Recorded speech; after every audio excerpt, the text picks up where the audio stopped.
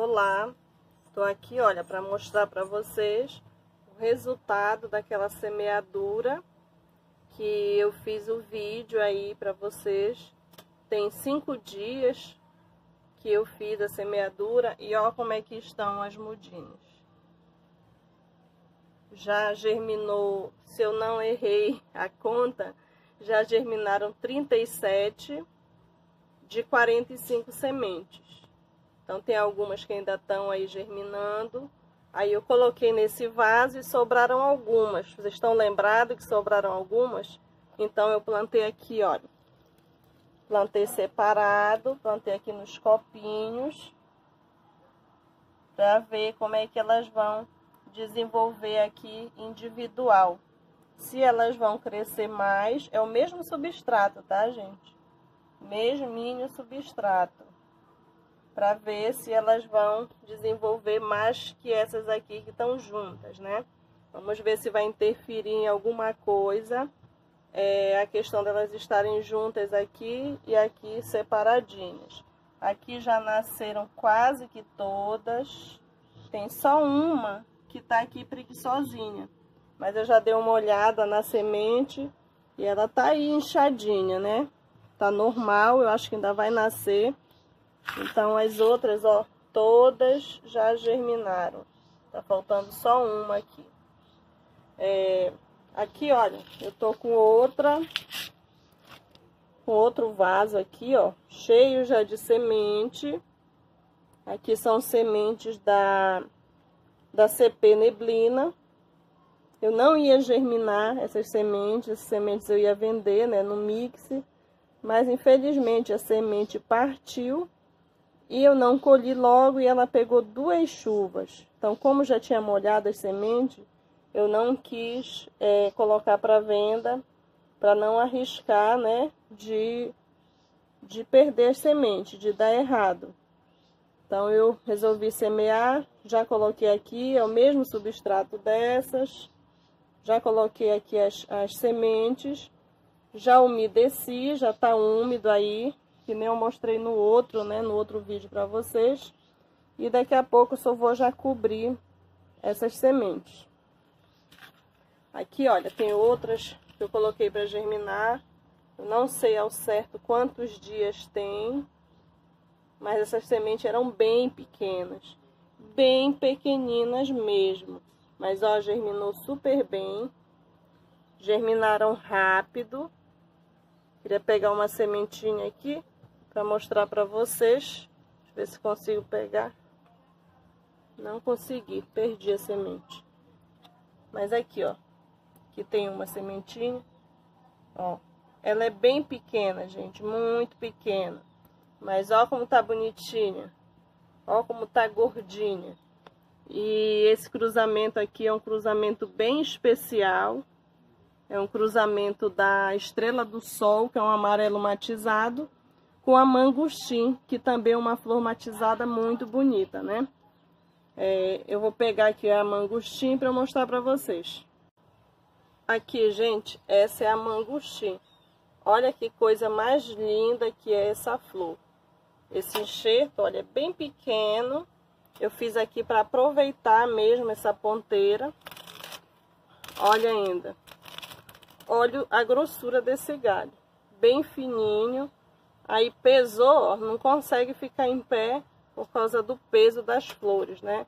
Ele é bem pequeno, muito fino para o peso das flores. Olha que coisa mais linda a flor. Então eu colhi de uma mangostim essas sementes aqui, olha. Não foi desse enxerto aí não, foi de outro, mas essa mesma flor. E eu fiz o cruzamento com uma amarela, é, também matizada, dobrada, que é a estrela do sol. Mas como as sementes saíram pequenas, eu não coloquei no mix, né? Porque se vai uma semente dessa aqui, a pessoa reclama. Mas perde de ter, olha, um ótimo cruzamento. Pode sair coisa muito boa aqui desse cruzamento, né? Então aqui tem outras sementinhas também, olha, todas bonitinhas. Essa daqui o gato não tinha o que fazer, veio aqui, deu uma bagunçada. Esse espaço aqui foi o gato que bagunçou, né? Aqui tem outra. Essa daqui eu deixei mais espaçadinha. Essa daqui eu tava com pressa para viajar, olha. E acabei só colocando de qualquer jeito. Ó como nasceu aqui umas tudo amontoada. Então não deu para eu fazer um... Para eu colocar elas mais é, arrumadinhas. Essa daqui não, ó. Já deixei elas mais espaçadinhas. Essas aqui também, ó. Não tá é, amontoada igual essa outra. Mas estão germinando super bem. Essas aqui também. Daqui mais uns três dias, quatro dias já devem começar também a germinar. Essa daqui, gente, foi aquelas primeiras sementes que eu fiz o vídeo sobre germinação. Aqui, olha, o ácaro já achou elas. Isso daqui não é variegata, tá? Isso aqui é ácaro. E tem muita gente, né, tendo problema com mudinhas com ácaro. Porque os ácaros, ele tem preferência por folha nova. Quando ele pega uma mudinha assim para ele, é a coisa mais maravilhosa. Ou quando é uma brotação nova, né? Então, olha, já tá aqui com ácaro. Mas eu já vou acabar com a festa deles, né? Vou aplicar aqui um acaricida. Essas aqui tá começando, olha. Tá começando a dar o ácaro. Mas tem menos do que na outra, né? Então, olha, como é que estão. Essas aqui já tem mês. Eu acho que elas estão por volta de 40 dias. Ó como é que elas estão bonitinhas. Essas aqui que eu coloquei para germinar na terra preta, elas cresceram mais de que essas que eu coloquei para germinar só na areia, né? Então, germinar só na areia não é uma boa, tá, gente? Mas eu vou continuar com elas aqui por questão de experiência, né? Eu não vou mudar, vou deixar elas continuarem aqui na areia para ver como é que elas vão estar tá quando elas completarem três meses, questão de raízes, né? Porque a, a, gente sabe que a areia é muito bom para enraização das plantas, das rosas do deserto. Então, olha, aqui eu já vou entrar com tratamento. Essa folha aqui não recupera mais, eu vou cortar. Vou deixar só o cabinho dela. Onde tiver essas folhas que estão muito, olha, atacadas pelo ácaro, eu já vou estar tá cortando. Não adianta, gente, ficar deixando essas folhas na planta. Porque só vai ficar ali sugando é, mais a energia da planta e guardando ovos, né? Os ovos da, dos ácaros. Então, a gente eliminando as, essas folhinhas, já elimina também a questão dos ovos, né? Aqui, olha, são aquelas estacas que eu coloquei para enraizar. Tem o um vídeo aí no canal. Coloquei para enraizar no, na areia. É, daqui eu já perdi três. E essas aqui, ó, parece que estão bem. Essas folhas são folha nova. Mas tem que passar aí pelo menos uns, uns três meses. para poder a gente ver mesmo como é que ela tá. Ali é uma mudinha também, que tava com apodrecimento. Coloquei para criar mais raízes, né? Então é isso, gente, ó, queria mostrar para vocês. Essas mudinhas aqui, eu ainda não coloquei é, adubação nelas. Vou começar a colocar adubação mais para frente, quando elas completarem 30 dias, né? Por enquanto ainda não vou colocar. Mas tô querendo fazer uma experiência de pegar pelo menos umas três aqui, olha, dessas que estão separadas, e fazer uma adubação e ver o que que acontece. Ver se vai prejudicar ou não elas. Então, eu vou fazer essa experiência e mais pra frente eu vou estar tá mostrando para vocês. Vou estar tá mostrando para vocês qual que foi o resultado, né? Vou começar com uma adubação bem fraquinha, vou ver aí o adubo. Não vou falar ainda, porque pode alguém fazer, né? Que às vezes a gente diz no vídeo que é uma experiência, mas a pessoa é, não entende, não, não sei. E acaba fazendo, né?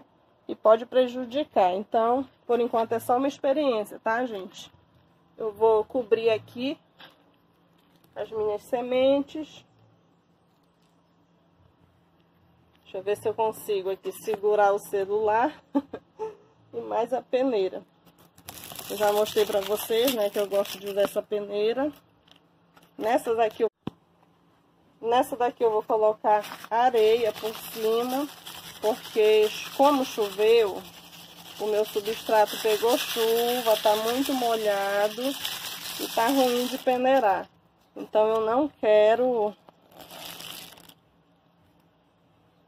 Então eu não vou usar, porque fica ruim para peneirar e eu gosto de, de colocar assim um substrato peneirado em cima das sementes, né? Para ficar levezinho, para não ficar aquilo muito, muito compacto, né? Então é isso, gente. Aqui eu vou colocar só para cobrir mesmo. Isso aqui é areia grossa, é areia de rio, tá? Vou colocar aqui só para cobrir e vou fazer a rega e esperar, né? Quem quiser ver o vídeo sobre, sobre, é, sobre o, o, o plantio das sementes, tem aí dois vídeos agora recentes, né, que eu fiz. Aí você vai lá e assiste o vídeo completo sobre a semeadura, tá bom? Aqui, ó, já cobriu, é só mesmo para cobrir. Depois que eu regar, se alguma ficar aparecendo, aí eu vou, coloco mais um pouquinho de areia, tá bom? Grande abraço para vocês e até o próximo vídeo.